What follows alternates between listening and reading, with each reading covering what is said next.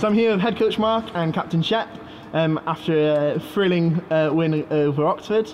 Um, Shep, it's your first game back um, in well playing yeah. playing back after the ban in Cardiff. Uh, how do you feel?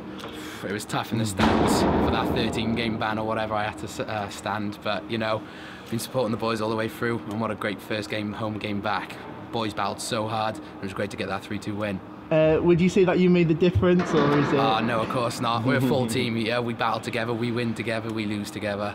Um, it was quite a gripping game. Um, you know, coming from behind in the last period, scoring those two quick goals, getting ahead. Um, what changed in that second um, break to get the boys going?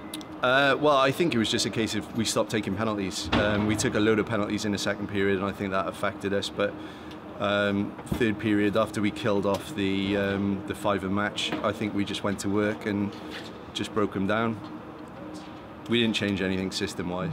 Yeah, well, sometimes you don't need to. um, so, in terms of like the team and the way it works, like Shep, what's your what's your favourite part about captaining this team in particular? It's such a young team, but all the boys have got their heads screwed on. They buy into the systems.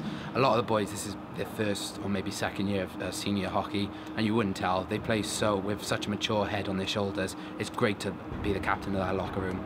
And, and, Mark, how about coaching kind of the, the young guys coming out of juniors? And... Oh, it's great because they, they're like sponges, you know, they soak up every little bit of information um, and it's nice to see them develop and one of my favourite years, to be honest. It's, uh, it's been such a good dressing room. Uh, everyone's buying into it and um, the, the closeness of the group uh, is probably one of our strengths. They've really, really come together and, and they work hard together and as Elis said, they win, lose, draw as a team.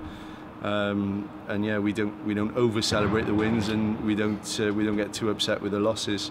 Uh, we're building, we're developing, and we know that was coming. So just in terms of you know when we began the season, I think a lot of other teams thought that we wouldn't even get a win this season. Mm. Um, what how much did that mean to the to the guys in the locker room when we actually started getting those wins and getting those points? Oh, a huge amount. I think um, we had a number of games that were quite close and a couple of games that we, we felt that we could have won or they could have been a lot closer. And obviously some games that we know that we're going to um, we're going to struggle with teams like Streatham all their experience. And I think that's the the difference you know it's, it's their their experience against ours. You know they're relatively new into the league into senior hockey. Um, so we knew the wins were going to come to be honest even though that uh, maybe some people might not have felt like that, but I think in the room we all knew it was coming, and um, that's our sixth win now of the season.